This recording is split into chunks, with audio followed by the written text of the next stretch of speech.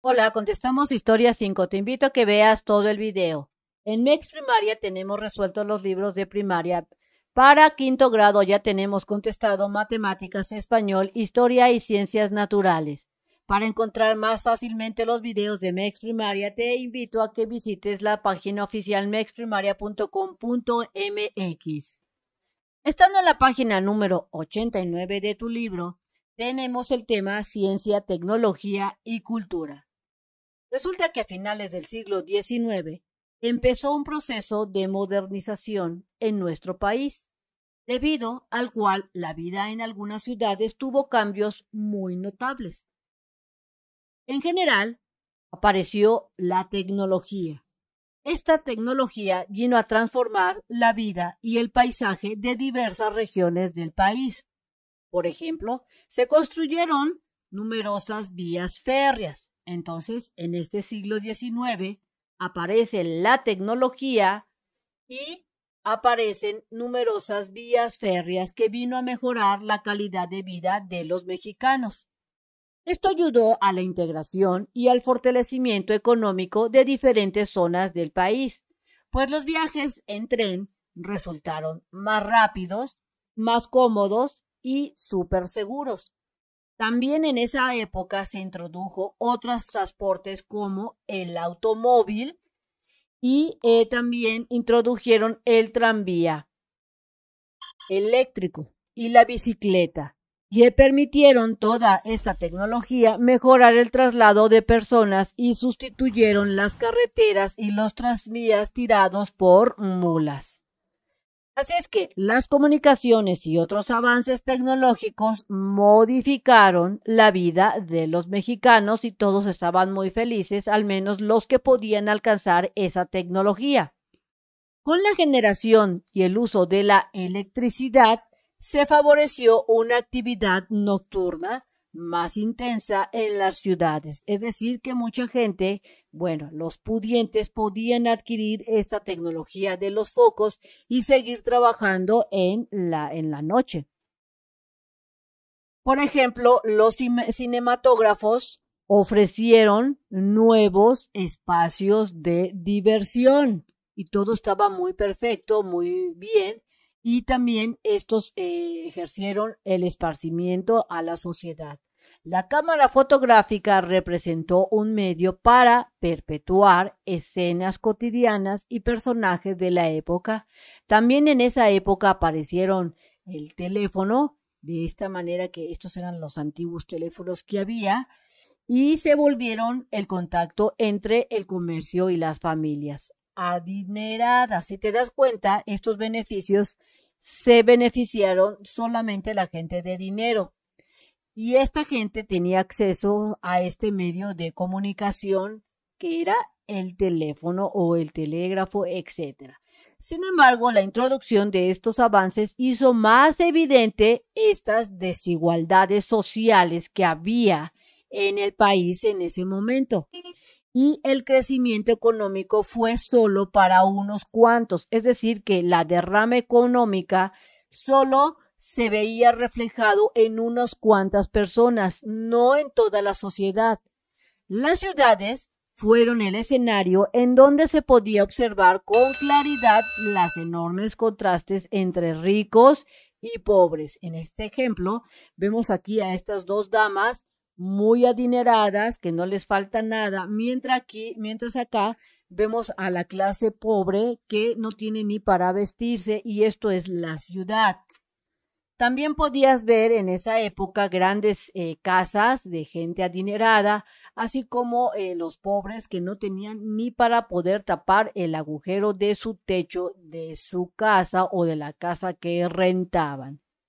Un dato interesante, a fines del siglo XIX, la educación superior estaba prohibida para las mujeres. O sea que si tú en esa época, entre los años 1800, eras mujer, no podías estudiar en una universidad, te lo tenían prohibido.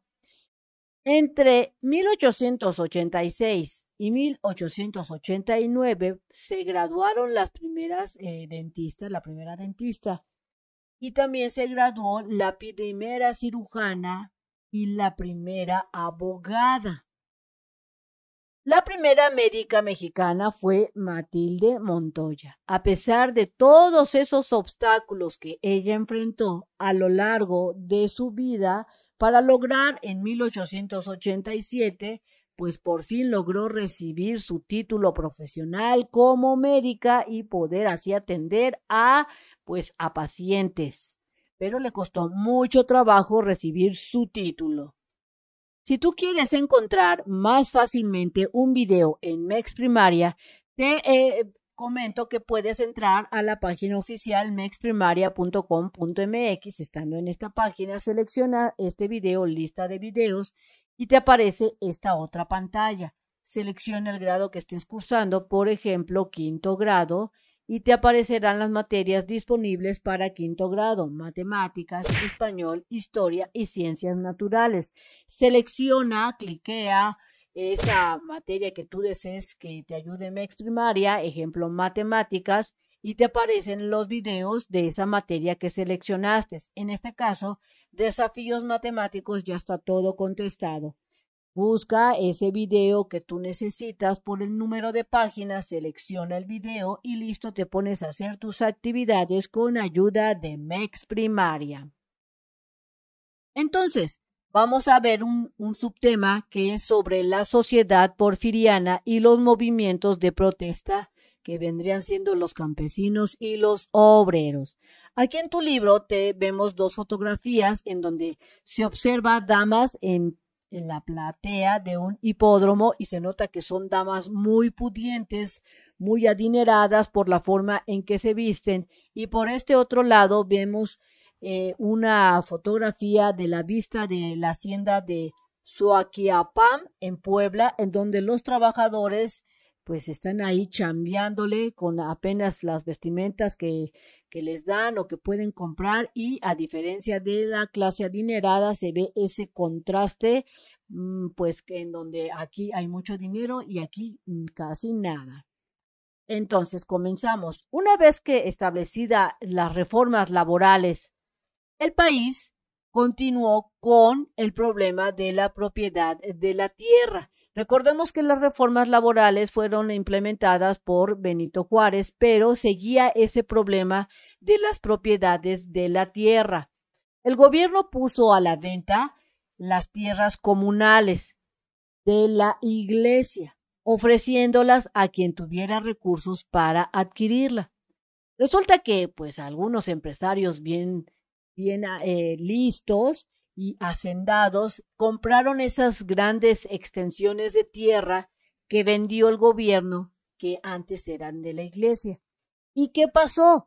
Pues esas grandes compras trajo como consecuencia que formaron latifundios. Aquí nos dice que es un latifundio, mira, por acá. Resulta que el latifundio esa, es esa gran extensión de tierra que sirve para labores agrícolas y ganaderas y que solo pertenece a una sola persona. Entonces, estas grandes extensiones que eran latinfundios solamente pertenecía a una persona, así es que el beneficiado solamente era una familia.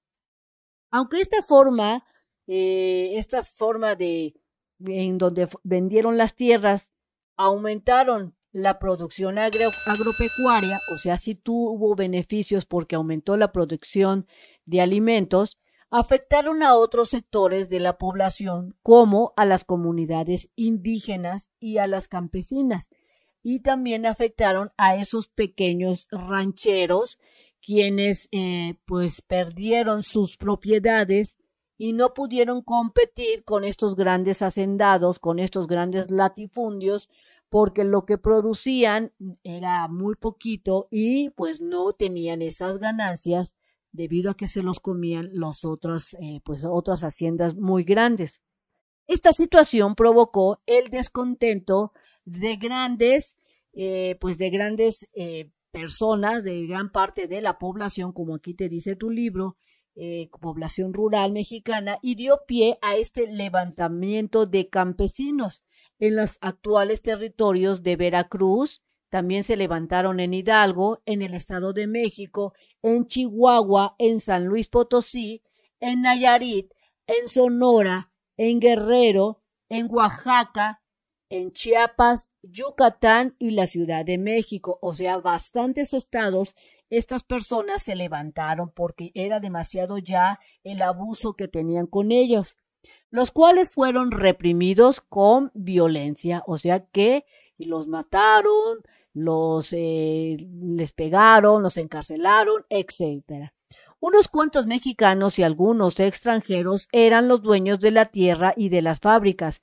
En cambio, la mayoría de la población no poseía siquiera una parcelita para sembrar, ni podían trabajar de forma independiente a causa de la falta de recursos, por lo que tenían que trabajar como obreros en las fábricas o como peones en las haciendas. Y esto era una gran injusticia que se estaba dando en México en esa época del porfiriato. Bien amigos, esto sería todo en este video. Espero que te haya servido la información. Si fue así, te invito a que la compartas, te invito a que te suscribas y que me regales ese like. Recuerda darle clic en la campanita de las notificaciones y nos vemos bien prontito en el próximo videito. Bye bye.